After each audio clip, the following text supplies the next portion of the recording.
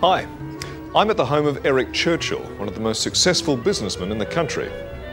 This exquisite traditional English garden, with its tiered ornamental lakes, waterfall, grotto, and shade house of rare and exotic plants, leading up to this magnificent two story Lombardic Romanesque mansion, would no doubt make where you're living look like crap. Inside, Eric has spent more money than you'd earn in 10 years refurbishing his conservatory. And just look at this superb Madrani statue with Florentine marble base. Because let's face it, it's as close as you're ever going to get to one. And what words can describe the majestic ballroom that forms the centerpiece to this magnificent home?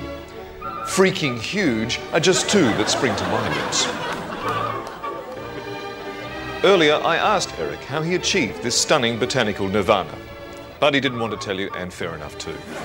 Well, if you've seen anything you've liked on tonight's show, please write and tell us. We'd love to hear about your jealousy.